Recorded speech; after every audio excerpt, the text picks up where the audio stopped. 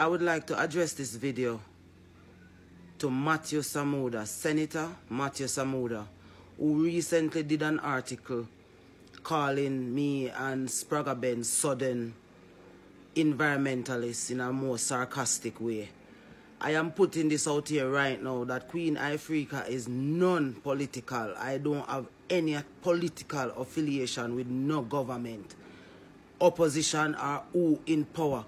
We are standing with the people of Jamaica for the preservation and protection of the cockpit country. The last time I checked an environmentalist is somebody who stand with a movement who protects the environment. So for Mr. Samuda to be talking in a most disrespectful way in how he answered the questions pertaining to our concern as citizens of this country, where the cockpit country is concerned. Long gone are the days when we set up artists and kill artists. Remember what happened with Bob Marley and Michael Manley.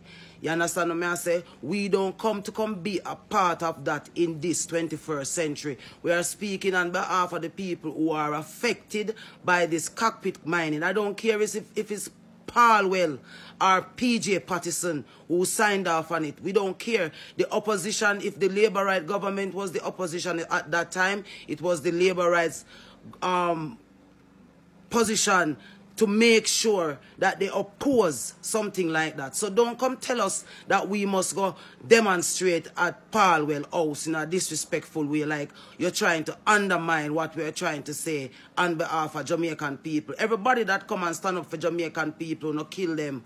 You understand what I say? We no set them up, we no make it look like a them a troublemaker. We say no mining at all in the cockpit country. We don't care if it's the opposition or the government sign off on it. The people are asking for no mining at all there. And that is what we are supporting. That is what we are using our voice and lending our voice to.